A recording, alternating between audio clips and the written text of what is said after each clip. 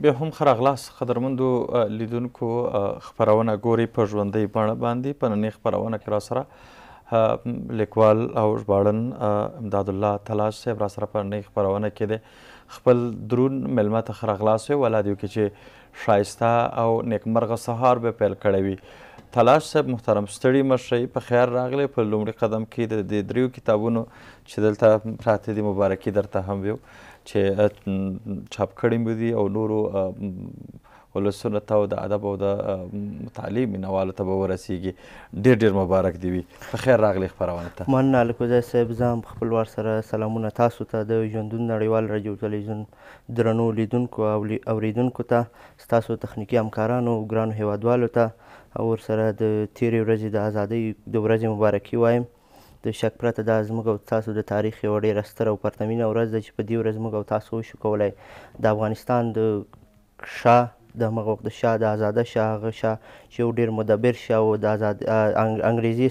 ښکیلاک څخه موږ او تاسو خپلواکي تر لاسه کړه نو د دې ورځې مبارکي افغان درون ولس ته وایم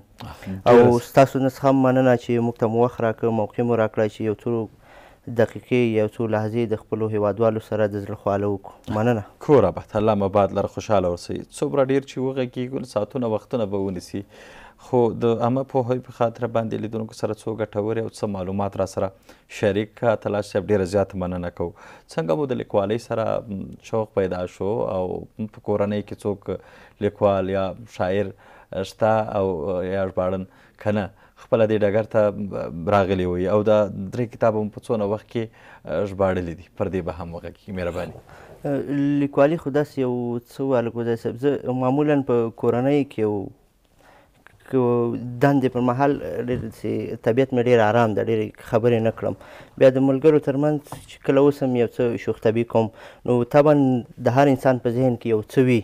چی هغه باید نورو ته انتقال کی ګر چی زما طبیعت ډیر ارام او نو ما چی وشو کوای دغه د لیکوالی استعداد یعنی ما د قلم په واسطه کوای شو دغه خپل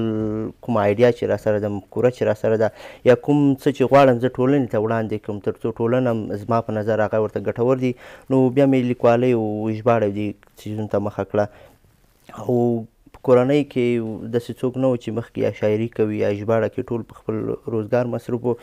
لومړنی شخص زه یم چې لیکوالۍ شاعرۍ ژباړې ته مې مخه کړې نو دا الحمدلله یو څو کتابونه مخکې چاپ شوي دا درې کتابونه مې چې راوړي یو خو دا دویم ځل چاپ شو د وطنوالو څخه مننه چې په دې شرایطو کې کتاب لولي زه پوهېږم وضعیت ډیر سخت ده او اقتصادي مشکلات به هم ډیر زیات او وضعیت هم داسې یو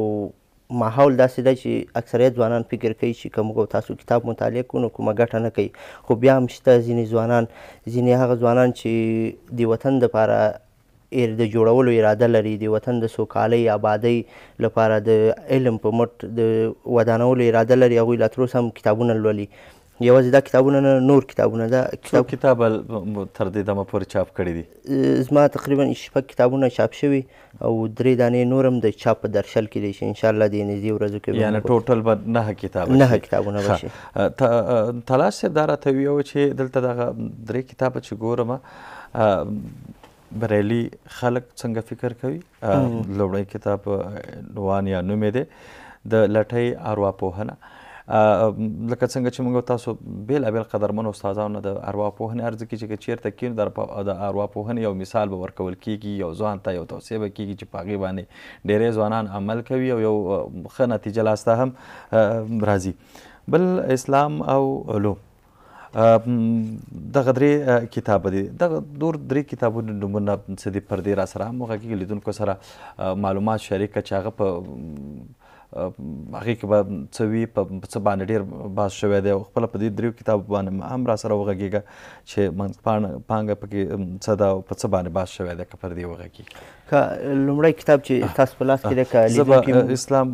علوم کتاب راواخلم لومړی قدم ټولو وروستی کتاب چې چاپ شوم دا اسلام علوم ده دا زما ډېر قدرمن استاد ډاکټر صاحب نورالله کوثر چې د علوم اکاډمۍ د علمي کادر غړی او د پوهنتون استاد ده دا هغه لیکلی ده تقریبا یوه ډېره تخنیکي او تخصصي څېړنه ده هغه په دري ژبه لیکلی او ما چې دا کتاب وکاته نو ما دې ضرورت او اړتیا احساس کړه چې دا باید پښتو ژبې ته هم راوژباړل شي تر څو زموږ او تاسو پښتو ژبې ورونه هم د دې څخه ګټه واخلي. د دې منځپانګه تقریبا منځپانګه ډېره غني منځپانګه لري، داسې مواردو ته پکې اشاره شوې چې تقریبا نوي دي د افغان ځوان دپاره یا د یو مسلمان ځوان دپاره. دې کې هغه څیزونه دي د علومو په تولید کې د اسلامي تمدن نقش، هغه څوک چې د علم په واسطه غواړی د ټولنی د بسیا او په ځان ویسا کیدو د پاره کار وکی نو دی کی همغه موارد ټول پکی ذکر شوی او د اسلامی تمدن دغه کوم تاریخ چی دی د ځلاند تاریخ ډیری زیاتی بیلګی او نمونی پکی راوړل شوی تر څو چی هغوی د علم په تولید کی څومره غټ رول درلود څومره نقش یی درلود یعنی لکه اوس چی اسلامی نړی په کوم لټی کی پرته ده او د علومو په تولید کی هیڅ ډول دخل او دخالت نلری یعنې پخوا داسې نه وه، موږ او تاسو په ټوله کې اسلامي نړۍ که ډېر زیات علومو په تولید کې ډېر زیات رول درلود، نقش مو درلود، دا چې اوس موږ او تاسو دې وضعیت ته رارسېدلي یو چې دا ډېر زیات د تاسف وړ وړ خبره ده، نو موږ او تاسو باید د هغه تاریخ څخه په استفادې او د هغه کوم میتودونه چې د هغوی څخه په استفادې موږ او تاسو باید د نړۍ لپاره د بشر لپاره د علم په تولید کې خپله ونډه ادا کړو تر څو وشو کولای په سرلوړۍ په دې نړۍ کې ژوند وکړو نو دې کې ډېر موارد داسې دي چې ګر چې ځینې اختلافي موارد شاید پکې وي چې ډېری فکر کوي چې دا څه په اسلام کې نشته یعنې دا غربیانو را تولید کړي خو نه د استاد د څېړنې په واسطه د احادیثو د قرآني آیاتونو په واسطه دا ثابته کړې چې دغه ټول موارد په اسلام کې شته دي مننه کور آباد طلا صاحب پوښتنه به همدا وي خیر دی یو جالبه خاطره به هم وي ډېری وخت یو څوک چې لیکل کوي یا لیکوالي کوي یا ژباړه کوي زړه تنګونو ته ډېر پیدا کېږي داسې کېږي که نه زړه تنګون خو بیخي بې نهایت زه چې کله ننګرهار کې د لیسانس دورې محصل وم هلته به چې ما د لومړۍ ژباړه ما هملته شروع کړه همغلته زه داسې وم چې تقریبا د کور نه لرې په خپل وطن کې خو مسافر د کور نه لرې کورنۍ نه لرې اتاق مو درلود نه هلته مې چې دا وخت بس تېرېږي نو کتابونو په ژباړې ته پیل وکړم چې یو کتاب به مې راواخیست یو لس ورځې به مې پرې کار وکړ تقریبا نیمایي ته به مې ورسو بیا به یې زړه یو رقم راتنګ کړم وایي چې یاره نه کېږي دا خو ملګري انډیوالان ټولګیوال استادان او دې ټول به زه تشویقولم چې اوس د کار وروستي سرحد ته رارسولی، خو کله مې چې لومړی کتاب وژباړه نو زه په دې پوه شوم چې هر کار، هر غواړې هر څه یو کار ته تر سره کړې، یوه بریا ته ورسېږې، په ځان به بې حوصلګي منې، سخت یې به منې، تنګ یې به منې، زړه تنګون به منې، تر څو بریا ته ورسېږې. خلک دې هغه وخت تشویقوي، هغه وخت دې هڅوي، هغه وخت خلکو ته ته یو څوک یې چې ته یو کار وکړې، دا که ته پای لیکې او نیمایي کې یې پرېږدې، که ته هر چاته هر څومره ووایې چې ما داسې یو کار پیل کړی بیا مې نیمایي کې پرېښودې څوک ارزښت نه درکوي نو ته باید ځان ثابت کړې او چې ته باید ځان ثابت کړې چې ما دغه کار کړی نو بیا ارزښت څه احساس کې همدا اوس همدا اوس خو طبعا د خوشحالۍ احساس کوم خوشحالۍ احساس په دې کوم ګر چې زه باید نور هم ډېر کار وکړم خو حد اقل دا چې په دې ټولنه کې مې ژوند کړی د دې مظلوم ولس د مالیې په راټولو شوو پیسو ما تر دې کچې یعنې چې اوس الحمدالله زه کابل پوهنتون کې ماسترۍ دورې محصل هم یم دې مننه د دې پورې زه زده کړې کوم نو حد اقل دغومره خو په ما حق کېږي که نور څه ورته ونه شم کړای چې په علمي ډول یا په چاپي ډول خو یو څه متنونه یا ورته راوژباړم یا څه ولیکم نو د راحتۍ احساس کوم د یو ډول سکون احساس کوم چې کولای شم یا مې دا کړي دي ترڅو دغسې یو کتابونه راوژباړم تلاش صاحب دا راته هم ووایه چې ماشاءالله لوی لوی بهیرونه لرو په بېلابېلو ولایتونو کې په بېلابېلو ناحو کې قدرمن استاد به هم راځي که کله یو شعر څوک وایي کره کتنې ته وړاندې کېږي که څوک یو ژباړه کوي یا هم کتاب لیکي مشران استادان څه وایي هغوی به هم چې ستاسو دغه کتاب لیدلی وي ژباړلی مو دی څه وایي څه نظر درکوي دغه هغه نور کتابونه خو هغه داسې دي چې موټیویشنل هغه انګیزشي کتابونه چې ورته وایي خو دغه یو کتاب چې ما ورته ویلی چې دا ډېر تخصصي او انګیزشي کتاب ده دا تقریبا د افغانستان د علومو اکاډمۍ چې د افغانستان د علومو د تولید یوازینی مرکز ده یعنې څېړنې کوي د پوهنتونونو څخه وراخوا څېړنې کوي په بېلابېلو بخشو کې نږدې څلور شپېته ډیپارټمنټونه لري، په ټولنیزو علومو، طبیعي علومو کې د هغو تقریبا درې استادانو دا کتلی، یعنې هغه داسې خلک دي چې د خپل مسلک کې د دکتورا تر کچې رسېدلي دي. یعنې خپل عمر یې ټول په همدې کې تېر کړی دی. کاوه، نو هغوی په دې کتاب باندې تقریظونه ورکړي، هغوی دا کتاب د دې ټولنې په خیر بللی، وایي چې دې کتابونو څخه باید استفاده وشي او دې ته یې د چاپ اجازه نه تنها چې اجازه یې ورکړې او دا سپارښتنه یې هم کړې چې دا کتاب باید ژر تر ژره چاپ شي، نو دا کوم ادبي بهیر ته موږ نه ده وړاندې کړی، خو د افغانستان د علومو اکاډمۍ په دې د تایید مهر لګولی وي چې دا کتاب باید چاپ شي. کور اباد او د دې په هیله چې زموږ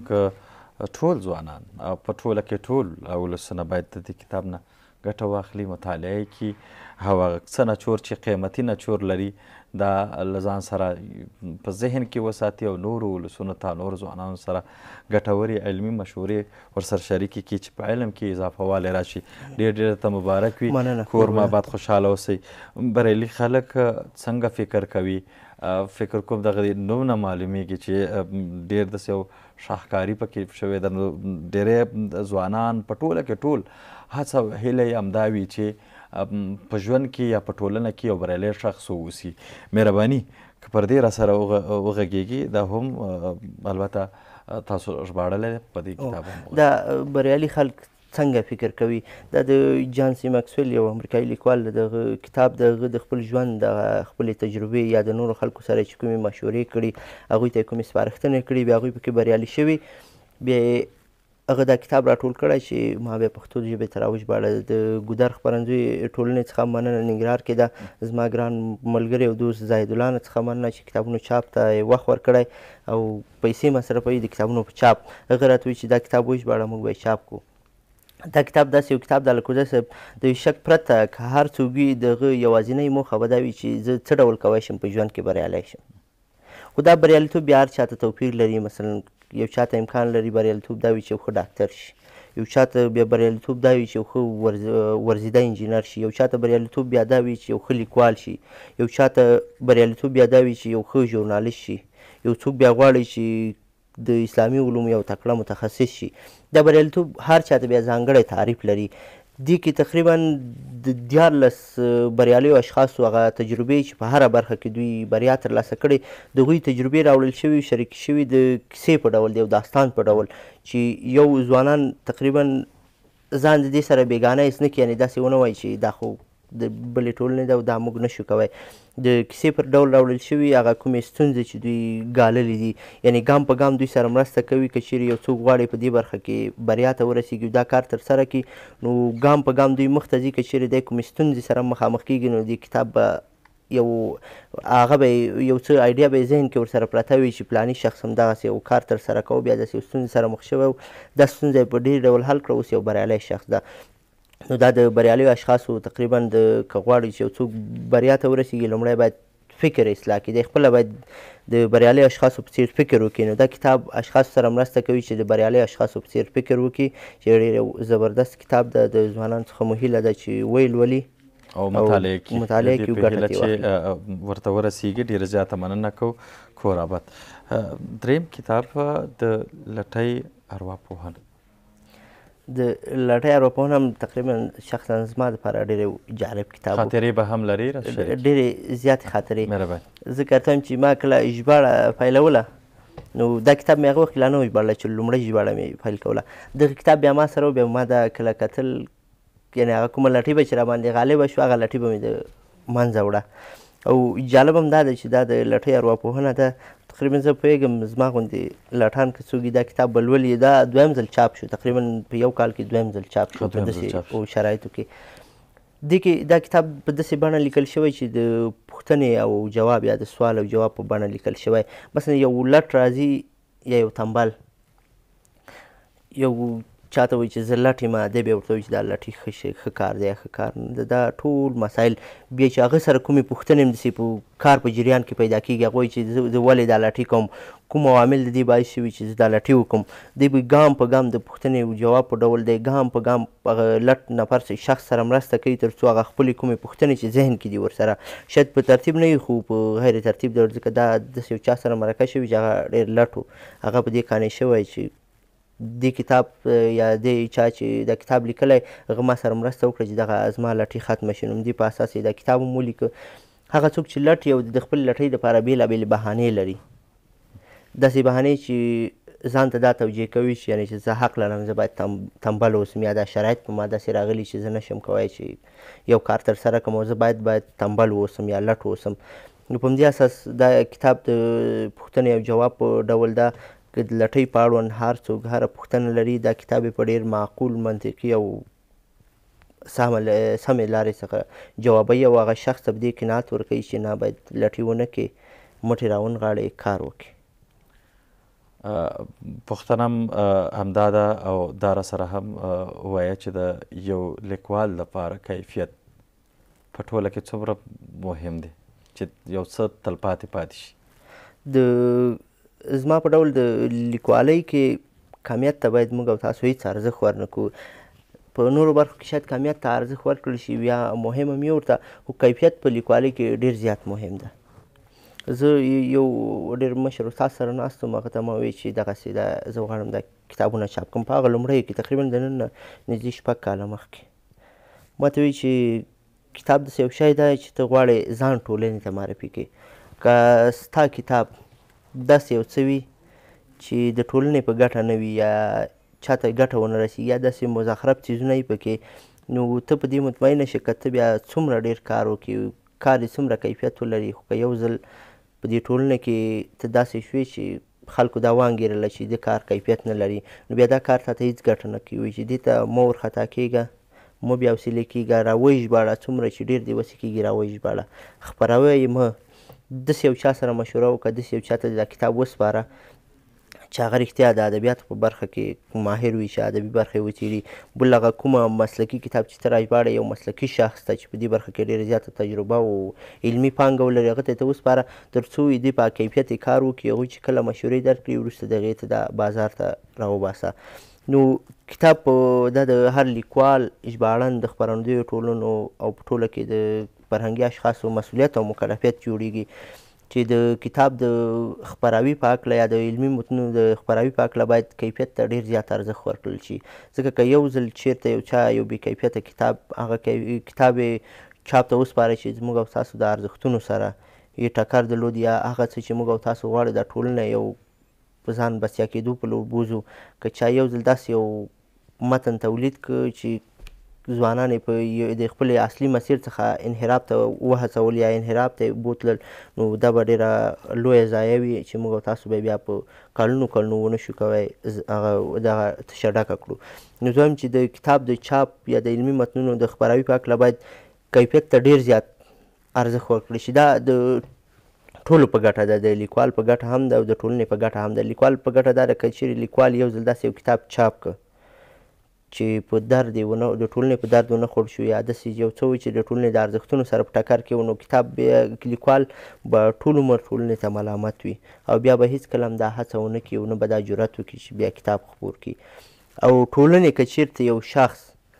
یو کتاب واخیست یو ځوان مثلا وایي چې نن زه یو کتاب اخلم یو ځوان سره یو شوق دا پیدا شو چې نن زه پلانۍ موضوع په اړوند یو کتاب اخلم که چیرې هغه د داسې یو کتاب سره مخامخ کیږي چې هغه کتاب واخلي او پیسې هم پرې ورکړي بیا وګوري چې هغه کې هیڅ داسې نوي څه نشته یا هغه څه چې ده غوښتل یا د ټولنې تقاضا د هغه نشته نو بیا به ډیری ځوانان هیڅکله هم دا جرأت ونه کړي چې کتاب واخلي نو زما په نظر په کتاب لیکلو کې باید کیفیت ته ډیر زیات پام وشي تر څو موږ او تاسو وشو کوی ټولنه په علمي لحاظ په ځان بسیا کړو. تلاش صاحب په آینده پلانونه، نوي کتابونه، لرئ؟ په آینده کې سوچ فکر ورته لرئ چې یا وژباړئ یا خپل یو څه جوړ کړئ ولیکئ؟ او بلکل زما موخه او هدف هم دا ده چې علمي برخه کې یو خو هغه رسمي مسولیت او مکلفیت د خپل ژوند د تیرولو لپاره به طبعا یو څه کار کوو خو زما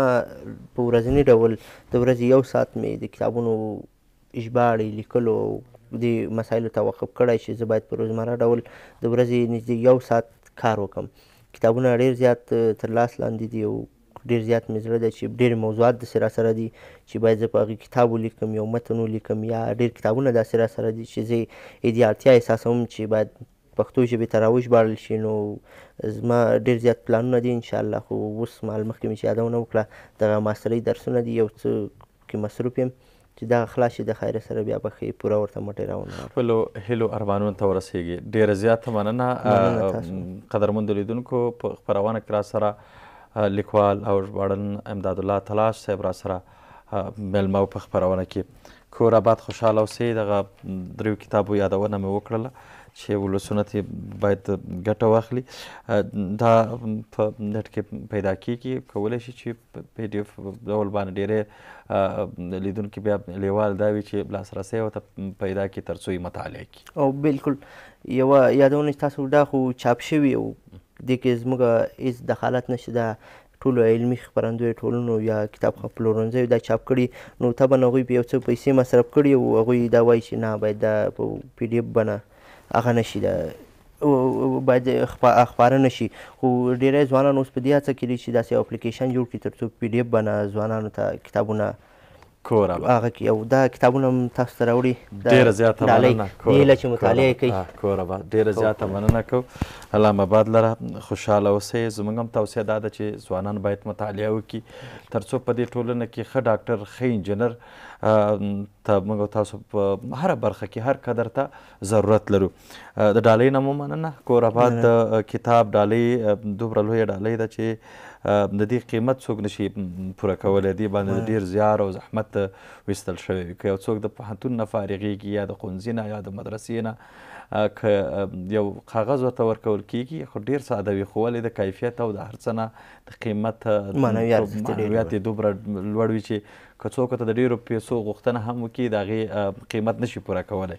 او پوهېږم، مطمئن یم چې هر ځوان ما مېلمه کړی دی او هر کدر همدا یوه خبره یې کړې ده، که ورزشکار دی، که لیکوال دی، نو یاره وایي، زه ما ته چې چا یا تقدیرنامه راکړې ده، په ډېرو څه نه ورکوم. په دې باندې مې زیار ایستی دی. ډېره زیاته مننه طلا صاحب چې راغلې خپرونې ته. کور اباد. په اخر کې پېغام څه پېغام لرئ؟ مهرباني. زما ځوانانو ته پېغام دا ده، موږ او تاسو باید د ټولنې د پرمختګ، ودې او سوکالۍ لپاره هېڅکله د علم لاره پرېږدو. که چېرې موږ او تاسو د علم لاره پرېښوده، نو په هره برخه کې موږ او تاسو خدای ناخواسته ماتې خوړلې، خو که چېرې موږ او تاسو د علم لاره خپله کړه، نو تل به موږ او تاسو بریالي وي. نو تل کوشش وکړئ چې په هره بڼه کېږي، په هرو امکاناتو کېږي، د هرې لارې کېږي، علم ترلاسه کړئ. مننه. ډېره زیاته مننه امدادالله تلاش صاحب چې راغلی خپرونه ته کور ما بعد خوشحاله اوسئ ویاړ مو راوبخښه او موږ هم کوښښ دا کوو چې بېلابېل کدرونه ځوانان په خپرونه کې ولرو قدرمندو لیدونکو د دیکلومې برخه لرو په ګډه سره یې ګورو بیا هم موږ سره پاتې شئ په خپرونه کې خبري راپور ښاري راپور هم لرو